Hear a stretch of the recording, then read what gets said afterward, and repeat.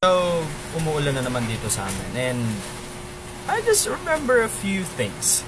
Una, yung pag-ulan is like the steps of problems in our life. Yung ambon. It may represent those little problems that we have in life. And sometimes we just ignore it. And parang wala lang. Hmm, di ba?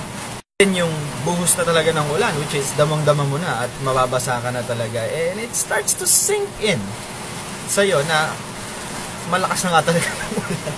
And it's just like with problems also. Diba na parang, oo nga, may problema nga ako. And then, yung malakas na buhos na talaga ng ulan, nadamang-dama mo na at merong nantakot sa'yo kasi nga, nandun eh. Nandyan na yung moment na kung saan it's already hitting you hard. Nandun na yung takot. Nandun na yung mga bagay na kung saan uh, you, you'll, you'll never realize na ito pala yung problema talaga. Ganito pala kalaki talaga yung problema in the big picture. Pero in every problem, there is a solution. And the solution is to always get ready.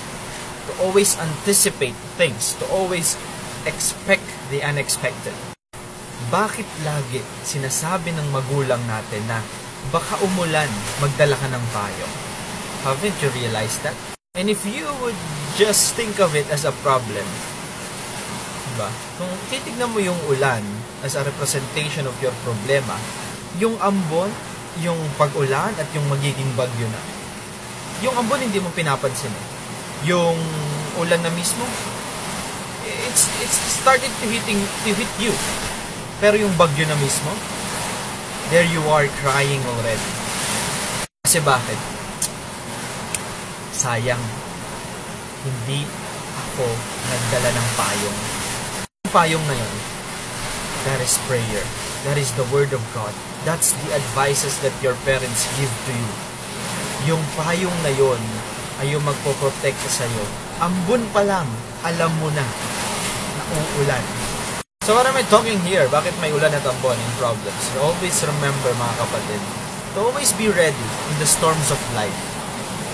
Always be ready in storms of life. Learn to discern problems. Even though maliit pa lang yan, let's step up and make and find a solution about it. Huwag mo nang patagalin yung problema mo, huwag mo nang tambayan. Kung may problema ka man ngayon, learn to pray, to seek the Word of God with all your heart, and to learn from others. Huwag ka mahiyang magtanong, kapatid. God bless you.